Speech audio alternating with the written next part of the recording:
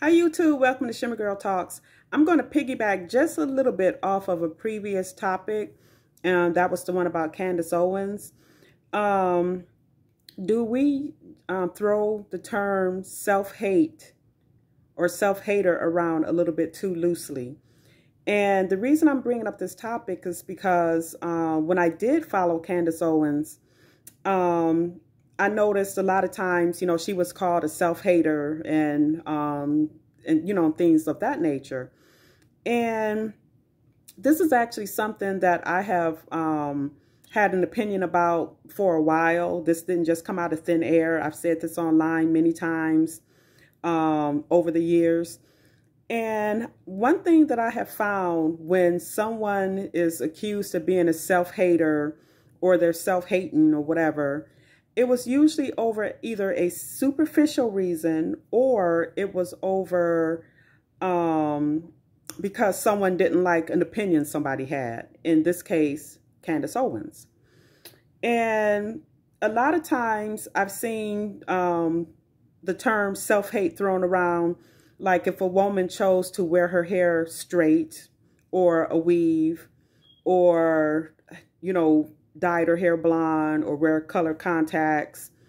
Um, or like I said, in the case of Candace Owens, um, another YouTube person, personality that I won't name because he doesn't like it when you name him because he figures you're a clout chaser. Um, but if you're well versed in um, YouTube, particularly conservative black YouTubers, you've probably run across him. But anyway, um, he's also been called a self-hater. And I have to disagree because I feel that when you can talk so passionately about some of the things that's going wrong within your community, I think you're the opposite of a self-hating or being a self-hater because you know that there is so much potential in our communities and you want to fight for it. And a lot of times the truth hurts and people don't want to necessarily hear the truth. Our community a lot of times does not accept constructive criticism at all. And, you know, so I have seen that term, you know, self-hate when it comes to, again, the superficial or if you have an opinion that goes against the grain of what a lot of people within our community believe and stand for. Um, for me, my opinion of self-hate is the, you know, the young black males killing each other at an alarming rate. That's self-hate.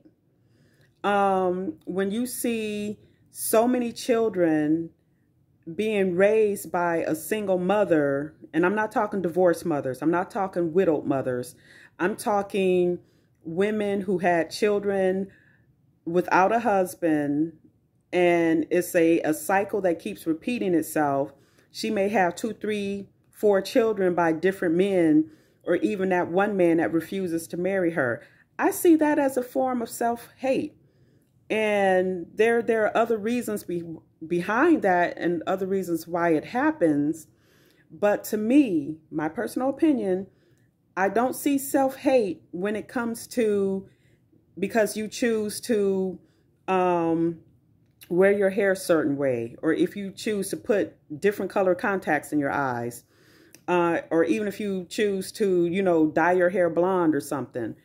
Uh, and I certainly don't see self-hate when you have a differing opinion uh, about what goes on in, in your community, in our communities. So um, I just wanted to address that. That's just been something that's, um, you know, been on my radar for a while. Uh, when I see people being accused of being a self-hater, and and it's usually something superficial. You know, um, a lot of times what I have seen, particularly online, is we as a community we get so mad and upset about some things that's so that's not that serious.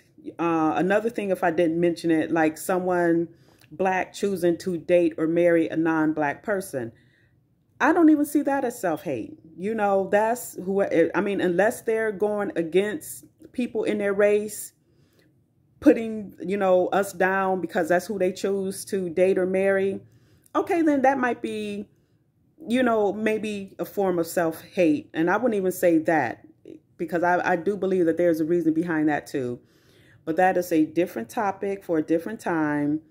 And so I hope I got all of my thoughts out. I had another self-hate video, um, but I didn't cover everything that I wanted to say. So I hope I did it this time.